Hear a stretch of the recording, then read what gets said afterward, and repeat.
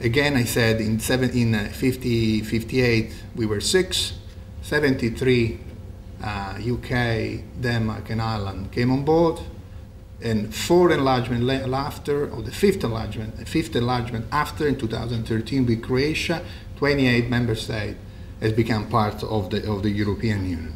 Through a system of uh, acquiring uh, the EU law, the so-called acquis, acquis communautaire, so basically embarking their own internal system, uh, our legislation, and you see how, it, how a transformative power has the EU, because to be part of the European Union, you have to share uh, uh, their own legislation based on a set, again, of values, of interests we are, we are common. So it's not a lip service when you enter the European Union. You might sign a paper, you think I'm part of the club. No, you, have, you should have your own legislation based on the EU legislation.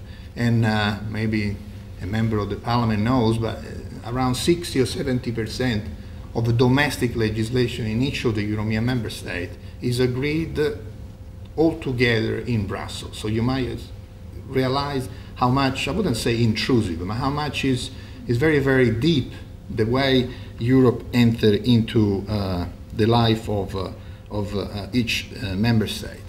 And how transformative it is. I made an example. Look, for example, of uh, Poland and Ukraine, two countries uh, that um, maybe give you an, plastic idea what the EU represent.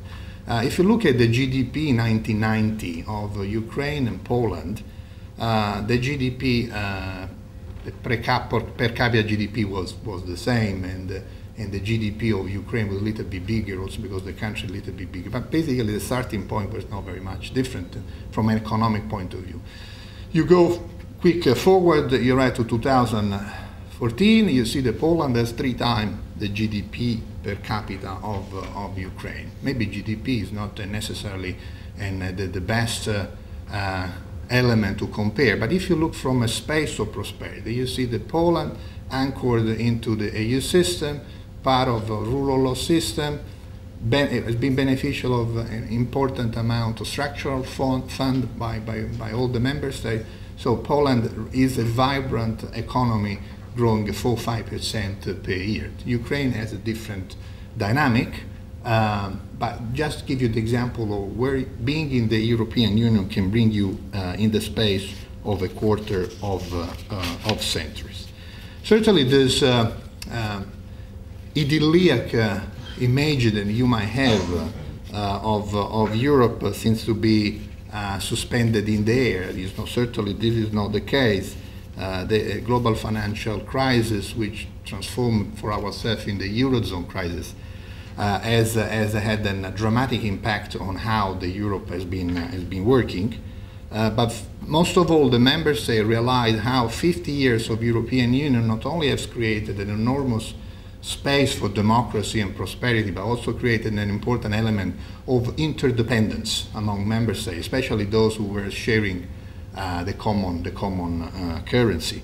But the project has been on the verge of, of a collapse, uh, but I think again the European found the, the right response with a mix of uh, uh, responsibility, so do your own work, reform your economy, uh, coupled with uh, a good sense of solidarity. There's been an important transfer of resources from member state to the country. So between this mix of responsibility and, and solidarity, I think we overcome the crisis, the eurozone is there.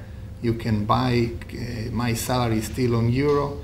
Uh, no one has left uh, the eurozone. No has been forced to, and the economy is back on track. Certainly, it's not at the pace, at the speed that we would have hoped for, but certainly, economy in the Europe is uh, is is back. And if you look at the program of the new Commission. Uh, who has already one year is already one year old, the, the Juncker One Commission, uh, there's a sense of urgency in engaging in new in new new policies where the EU will be a, dri where a driver uh, for change. So there will be, if you look at the 10 points of the Juncker Commission, will be uh, more competition, more uh, internal markets, uh, more trade, uh, energy union, more climate change, FTA, policy on, on migration. So again, Europe is not certainly uh, trying to remain uh, stand still, but trying to improve and, and going forward. So this was a, a, a brief sketch of what I believe has been the AU as a driver of a change for internal dimension. If you look for the external dimension, um, the set of values of philosophy remain very much uh, uh, the same.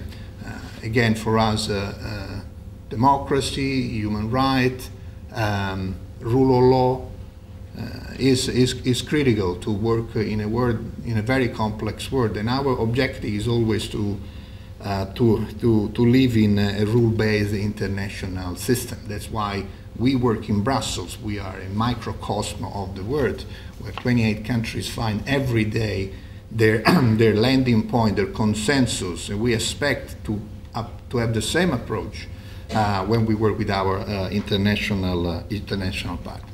And we bring to the international role some, some important element of our toolbox. We, again, we are the first economy, the first uh, trading bloc. Through the years, we have developed a common security and defense policy. We have an external action uh, services. Um, we have a comprehensive approach uh, to try to solve the uh, crisis. So the EU is bringing all this to act as an uh, as an uh, um, a global actor in a, in a multilateral multilateral world. Maybe I remain I'm a little bit still vague. I, give, I give you some example. For example, in security. Certainly, Europe is not is not a hard power. Security is a soft power, and I think a soft doesn't mean weak. Soft means that we believe that uh, a political, a diplomatic solution is the one who bring a, a lasting, uh, lasting solution. If, some example, Iran. Uh, Iran, uh, in 14 July this year, has been signed an, a landmark agreement between six, uh, so-called six world powers and the European Union with, with Iran basically is uh, uh, the solution, the political and diplomatic solution to, uh, to, um, to address the nuclear, the Iranian nuclear, nuclear program. The EU bring on board two elements. The first one is, is economic weight. Uh, Iran has been brought back to the, to the negotiating uh, table when basically the EU imposed the oil embargo. The US has very little economic relation with Iran since 79. Russia a little bit less, China emerging, but certainly the bulk of the work has been made by, by the European. Uh, and this one has been a changing, a changing element. Again, it's not hard power. We didn't bomb anybody, but we, we imposed an oil embargo. We put an economy on the knee. But it again was not an, uh, an instrument, was not an objective in itself, was an instrument to bring Iran back to the negotiating table.